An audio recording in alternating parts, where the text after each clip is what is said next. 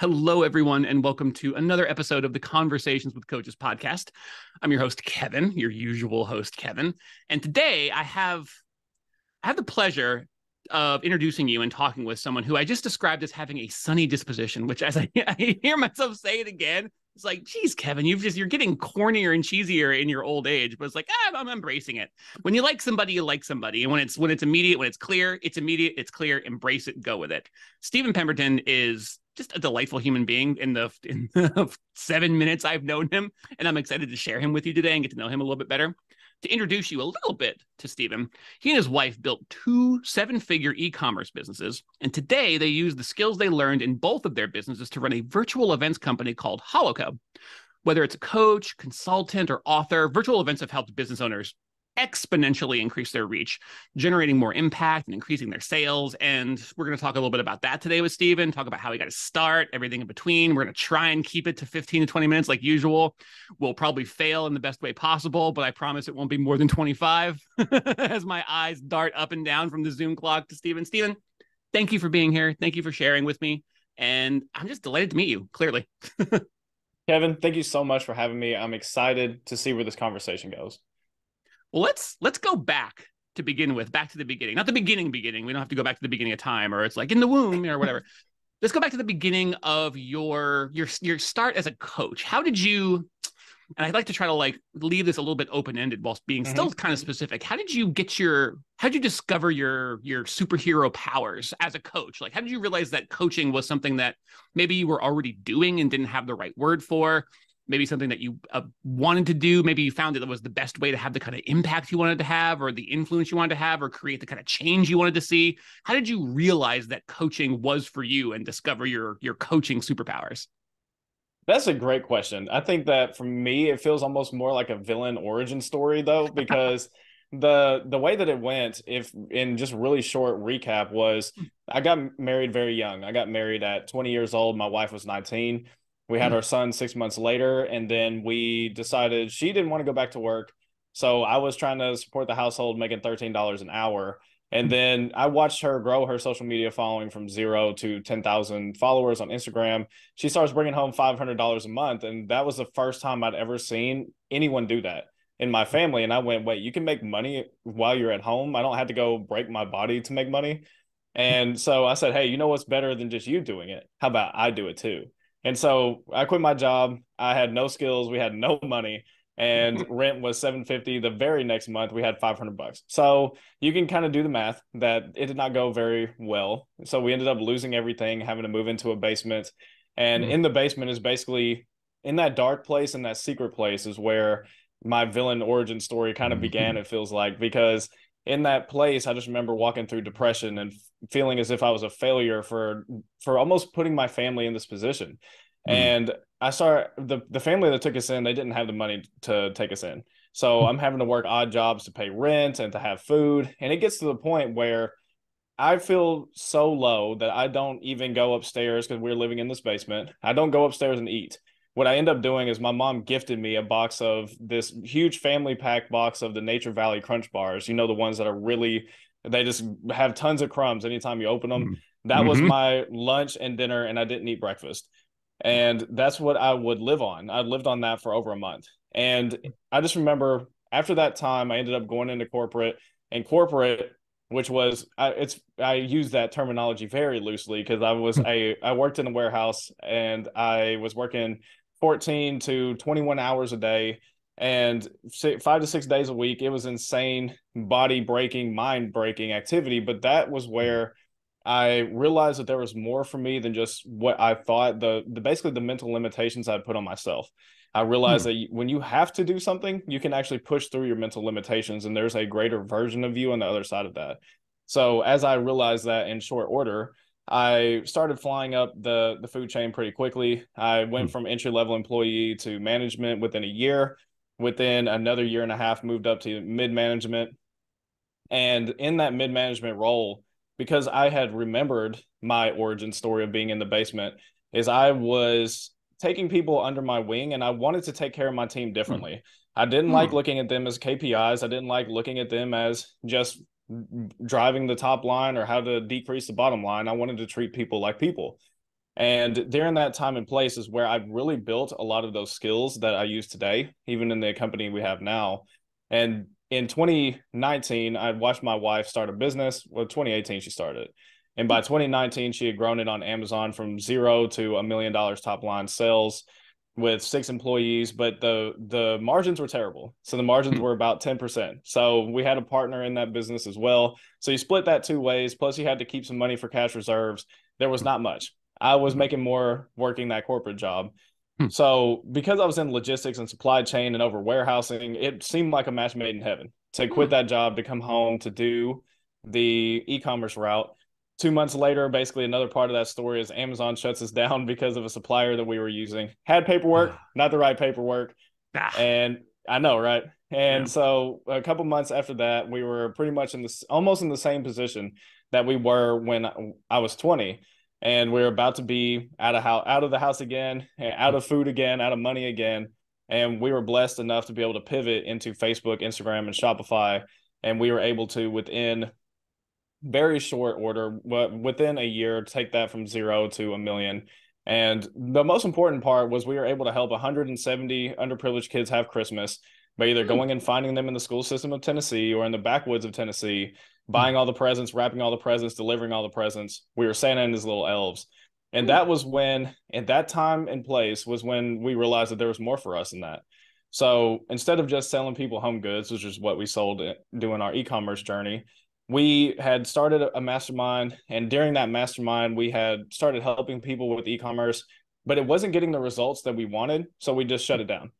And we wanted to revamp it to make it better and during that time and place we had people coming to us who didn't know how to do how to do funnels how to do marketing how to do the things that we knew how to do and they wanted to run events. So that's kind of how that business started and that's where I truly that plus we do e-commerce consulting where it's very similar to what you were saying with coaching people. For me, it's not just about how do we drive more sales. It's how mm-hmm. do I take care of this person as a person. Mm-hmm. With that being said, is a, a large part of that is financial. How can I help them achieve their dreams? What does their dream look like? Even with our mastermind, is what does their dream look like? Some people just wanted to be able to pay for a dinner. Other hmm. people mm-hmm. wanted to be able to change their entire lives. They wanted that to be their full time thing. So being able to cater things to those people and who they are as people is really what drives me to look at them not just as another cell, another number, but as people with real lives, with real dreams, and how can I help them achieve their dreams? Man, your I mean, your story has it all essentially. like seriously, like there's so there's so many different like core core values that I find to be so intrinsic to like good coaching and just good like just human relationships and development and just growth. That I, I, the first thing I want to like identify is I love the fact that you saw really, really, really early that you wanted your life to be different and you saw how that could happen, and you went after it and you failed spectacularly it really did and like obviously mm-hmm. now we have we have the the grace and the illumination of hindsight to kind of show us the path that we were on obviously in the moment it doesn't feel all that good to have gone after something and find yourself at the bottom of a well but mm-hmm. you went for it missed picked yourself back up slowly but surely with help with help from people who who were positioned to help even if it you know was painful or they barely had the resources to help you they had help got back up and still had it in your head what the life you wanted to live looked like how you wanted your family's needs met. You're you're you know caring for yourself caring for your family your loved ones your responsibilities kept going after it found different paths that maybe weren't certainly didn't feel quite like the right path but embracing it getting the most out of it. And then immediately like i love the way that you once you began to meet the needs and requirements of you and your family you're imme- immediately your brain is like i can also i don't want my people to be kpis i don't want the people that i work with and for and work for me who i'm responsible for to just feel like numbers or to feel like cogs in a machine even though when you're mm-hmm. in any kind of corporate environment that's very much what corporate as like i don't want to assign any like personality to it but like that's very much that machine always wants to make you into a machine part yep. just as a natural expression and pushing back against that and being able to make progress in that and learning the skills, how what it takes to actually have an impact on people and to lift people up and to bring them in and to like help them to fly and make their own leaps in the future. And I just loved like the evolution of it, the way you tell your story and how like at each stage you were finding the way forward and you had varying degrees of success or failure or both and learned from both the success and the failure and just kept going and kept iterating. And the moment you got success, your immediate reflex, I only it sounds like a reflex to me was to like, I have how do I how do I give back? How do I how do I help? How do I serve more? differently and better and just keep growing and changing. And I just love at so many different like key notes on the I say the word keynote comes out of my mouth. Like I could hear you giving a TED talk on this for like, you know, 45 minutes, just like telling your story and all the lessons learned along the way. But at all these different key positions, it's you're still the same person. I could see like that person who wants to provide for themselves, provide for their family, and grow and change and evolve and have success and create impact and share all of that with other people and just keep you know wash rinse repeat wash rinse repeat over and over again and it's like found something that could really help help you to have the kind of influence and like affect the kind of change you want to see in the world I'm just I'm, i know I'm basically just blowing smoke up your butt because I love I love your story and also the way you tell it. Like it's really you can see the journey and the will to move forward, especially again using hindsight to help illuminate some of the darker valleys of that journey. Mm-hmm. Can really help people. I, I'm, I'm I'm so appreciative of you sharing it too because it can really help people to realize like you know you might be you know in the basement, you might be at the bottom of the well, you might be in the you know the the in the valley so to speak. Yes. It's like it's and you don't have to feel you don't have to feel the sun on your face to know that it will shine again. And it, mm-hmm. it really helps to hear stories like that i think i think for people who are on their own their own journeys. Uh thank you for everything you said.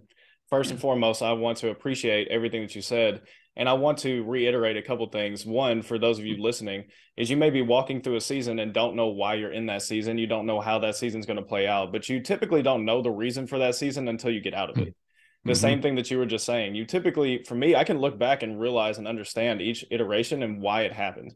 But when you're in the middle of it, you don't get it until afterwards. It's hindsight, right? And mm-hmm. the other thing I want to say is I love how you were talking about what you feel I am as far as how the person that I am. The reason mm. why I do what I do, the reason why I'm on this podcast with you and for those of you listening is because I truly want to give back. I truly want to give back my time, my experiences, my story. I do my best to keep nothing off the table, especially the bad. Just mm-hmm. because I can get on here and just talk about my success, but it's not going to serve you. But if I get on here and I talk about the journey and the things that where I fell fa- face first, and I was mm-hmm. able to pick myself back up and move forward and pivot and change, and even when it's hard, how to push through. If I can show people what perseverance looks like, because for a period of time I was not very perseverant. If I can help somebody in that space, that's why I'm here because so often in life, especially in business, we have some kind of goal. What's your three year plan? What's your one year run? What does it look like? And so many people want to hit a number. Hmm. For me, is what do you do once you get there? For me, I always wanted to make a million dollars.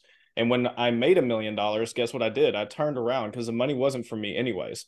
Is how can I use it to support the next people that are coming up the mountain behind me? If you look at Mount Everest, Mount Everest has these rungs that are left in the mountain already there. Why are they there? Because somebody climbed it first. Somebody got to that mountaintop first and they left the rungs there so that the next person up could have a little bit easier journey. So for mm-hmm. me, sharing my story, if I'm able to walk through that valley and show you what it looks like and illuminate some steps for you, that's why I'm here. I love that. That's that that feeling of being on a on a journey, climbing the mountain, and you reach out for the next handhold, or you're or you're putting your foot down for the next foothold, and it feels you you can feel the presence of someone else having been there. It's a little bit worn from other people having been there. Worn in a way that actually helps you gain traction. Worn in a way that helps to keep you on the mountain and on the path. Mm. And it's just it, it, not only that, not only does it help to stabilize you and continue you on your journey, but it also kind of guides you because you can see where others went before. Mm. And you can realize, like, well, you know, maybe this. Per- um, and now I'm just like, you know, building an analogy on the fly here, but I'm thinking hey, about like so maybe this handhold was like for somebody with longer reach, this one was for somebody with a shorter reach. They're on the same path. They got there more or less the same way, but slightly differently. And I can see how this person, like uh, they have short arms like me. And so I need to be able to reach there and then put this one foot here and then, you know, move forward that way. You know, while other people might have different reaches, different lengths of arms, legs. I'm just like, I'm thinking about how, and I, you, you kind of spoke to this as well too, that the, the the specifics, the uniqueness of everyone's journey, even though they're on a very, it's very, it's very much the same path climbing the same mountain, looking for success and impact and growth and change and just, you know, delighting in living their life. Um, and how that looks the same for everybody and how that looks completely different for everybody at the same time. and how stories like yours, the sharing of them and the elaboration on too. You don't just share the story. You're not just, you know, flopping it out there. It's actually you go into depth and you really like, like, like you said, everything's on the table. And so people can really like interrogate it and like for themselves and reflect it back and like talk to you about it, obviously, as a coach, and really understand what their journey is going to look like and how your journey can not just inspire them, but also teach them about their own which that's just I when I start to think about it and talk about it, I get I almost get like a little bit of a tingle because it's it's so powerful. It's it's borderline magical the way that that feels, where people can just learn more about themselves from learning about you. It's almost mm. weird to say it out loud. You're like, that can't be the way things work, can it? Does I feel a little selfish? It's like, nope. That's ex- that's exactly how you give back. that's exactly how you help people. And I just, oh, I'm I'm I'm glad you're a part of it. I'm glad you're here doing it because I, I love I love the way you approach it. Thank you. I appreciate it so much again because I I've had those same experiences. There's people that I've listened to their story and I went, "Wow, they I thought that I had it bad." And mm-hmm. then I listened to their story and I realized maybe it's not so bad. And there was mm-hmm. a, a story of a girl who got left at a bus station and her mom had put acid in her eyes because she was using her to get handouts and this was in India. Mm-hmm. And her mom just left her at a bus stop. And I went, okay, my life is not that bad and then she gets adopted and she was sitting there thanking the she she was sitting there thanking God that she had been left at that bus station, sitting there and was excited that her life had went that way. And for me, as that gave me a very u- unique perspective to say, if she can say that after having acid poured into her eyes and being left at a bus stop and enjoying her life and being able to move forward and press through d- different situations, maybe I can too. Maybe my situation of being in a basement isn't as bad as I made it out to be at the time. And I love being able to just share authentically because of somebody, one person. I'm not trying to impact everyone. I want to be able to impact the one who is sitting there and they think that there's no one ever walked through it, that they're alone in their situation. If I can speak to that person and they say, maybe I'm not alone, and it saves them one more day, they can push forward one mm. more day. That's what excites me to do what I do. Mm, I love that. It's that the way you said that has got me saved, saving the day like just save save the day and then you could save the next one and then the next mm-hmm. one because it's like yeah you're it, that, that really sets and obviously it kind of connects back to the whole superhero villain origin story thing. It's got me it's got me connecting things back all comic book style but just like just like taking it in those chunks not trying to affect everybody or not trying to bring somebody from zero to hero or whatever that looks like for them in like in one coaching session or in one day. It's like save the one day and then save the next day and then save the next day. And before you know it you will be a hero I just, I, I just that, that just inspired you inspired me on the fly, and so I just wanted to put that out there. It might need some mm. some polishing to actually be to be of genuine value, but okay. A little bit before we go, because I, I feel like yeah. I could just talk to you about your story all day. And I, I told you I would have this problem. I'm looking at the Zoom clock, being like, all right, Kevin, the clock is ticking. I could just talk with this guy for hours, but we're not going to do the five hour marathon pod.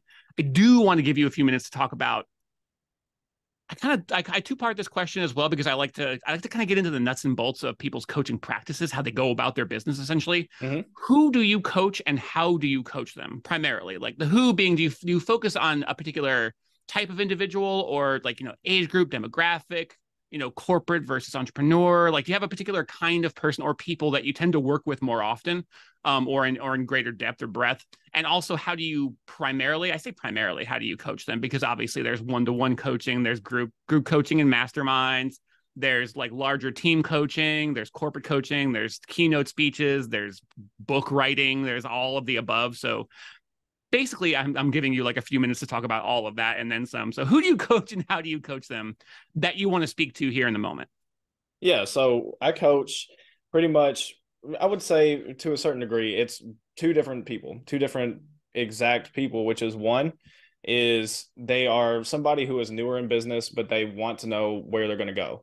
because again is it is about that next step and what that looks like is yes, I have a virtual events company called Hollowco. Yes, we have done e commerce. Does it have to be either of those that I coach them on? No. Hmm. Why? Because I want to be able to give back into that person who needs their next steps. I hmm. have one client who is in Israel. So it is a international thing and with her is hers is much more niched into environments how to eh, how to inspire people how to help their environment speak to them when they work so hmm. for me is i one-to-one coach her to be able, and she's older, one to one coach her to be able to get her business off the ground. And that's typically through one off sessions. Now I have another individual that there's going to be another one coming on, and then this individual in particular, where he is one to one coaching, but he wants to know e commerce. The one thing that I don't advertise that I always do is I am available. And what that hmm. means is, and I feel like I can share this is that with this one client is he he texted me one day and out of the blue and he said, Hey, I'm going through some pretty dark stuff right now. Can you just be here for me? And i said hmm. absolutely i'm here. What do you need? And he said it, and he said you're i feel like you're the one person in my life that i can just come to. Hmm. and so for me is more than just practical here's your next steps. Here's how we're going to do it. Here's the tech behind it. Here's what it looks like is i hmm. want to speak into that person because helping them be a better person and be able to get outside of their own head is typically where the success they're looking for lives the reason why you're in the position you're in is there's usually some kind of block that's in the way to keep you from going to that next level. So if I can identify that, help them work through that and identify that answer for themselves instead of me giving it to them, then I can give them the tech and the practical and they'll be able to run with it. So that's kind of the the nutshell of what that looks like. Hmm. I, I love I love that. It's again, I'm getting like these little jumping off points where it's like, let's talk about this for a half an hour because it's like that, that ability to like to create and to hold space for someone. And I know that's that's terminology gets yes. thrown around quite a bit, um, but it's just so important because sometimes what people need is to be filled up. They're like they have a gap that they need filled, a bridge they need built, something that is lacking that needs to be filled with you know system process encouragement you know guidance direction and sometimes they just need a place to be that's mm-hmm. not in their own head yep. with with no with nothing else without form and void so to speak you just kind of be there and then once that space is held and allowed for then things begin to like move and shift and change in ways that you might might not even be able to predict let alone ask for that's another thing too about being able to hold that space for people is it allows the next right question to emerge rather mm. than trying to craft it or create it or get your hands on it and shape it or just apply your 17 point strategy in a paste to everybody and let them figure it out for themselves that's that's really the, the dynamism and the real like next level impact that good coaching can and should have and so I'm once again, I'm finding myself praising your approach and just repeating what you were saying. But again, it is spot on in my in my professional opinion. Thank you. Again, I, I, appreciate all of the the kind regards because it comes from my heart. I didn't know I was doing it right. That's just where my heart lies. Well, I I thank you for that because I had no idea. It's not as if I went through I went through a, a coaching certification program or I went and I was one to one mentored by Tony Robbins. Let's say I was not any of those things. I I just truly care about people, and the best way to care about people is, as you said, hold space. Here, what are they giving me? Because hmm. typically, if they're going to give you surface level, and then you dig a little deeper, find out where their real pain is, and once you find that real pain, you can identify it and work through it with them.